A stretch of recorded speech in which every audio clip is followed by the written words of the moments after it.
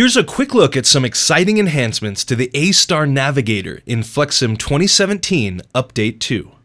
The A-Star Navigator is an automatic pathfinding tool that is a powerful and quick alternative to building travel networks. Just set the rules for travel in your model by declaring barriers and dividers, and let the A-Star algorithm go to work to create the paths. One of our latest upgrades to the A-Star Navigator is collision avoidance.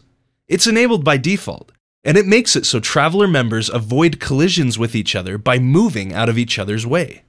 This will add accuracy to models that include many individuals in tight spaces or bottlenecked areas. We've also added a useful heat map feature found in the Visual tab of the A-Star Navigator object.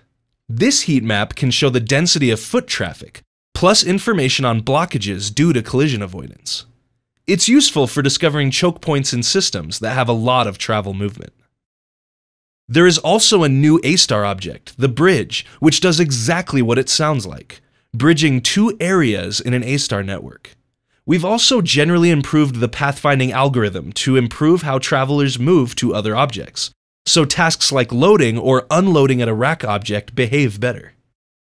Thanks for watching, and we hope you enjoy FlexSim 2017 Update 2.